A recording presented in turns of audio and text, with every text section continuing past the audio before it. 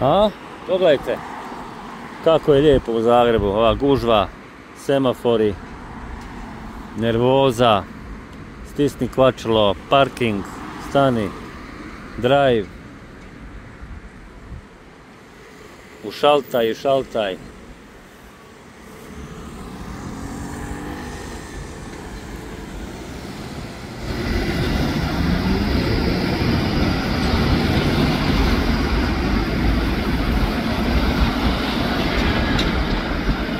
I ovako svaki dan. Svaki dan u ovo vrijeme. Pogled lijevo, pogled desno.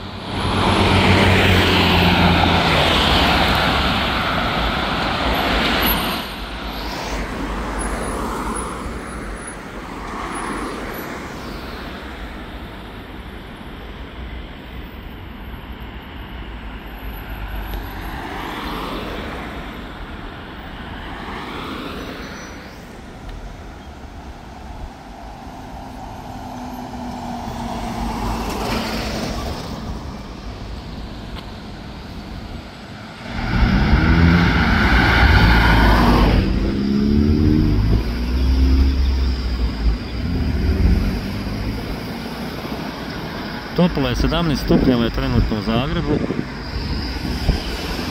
Suho je, puše neki vjetrić.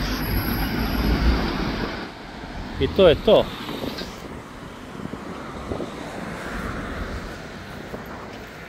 Tratinčice, maslačak,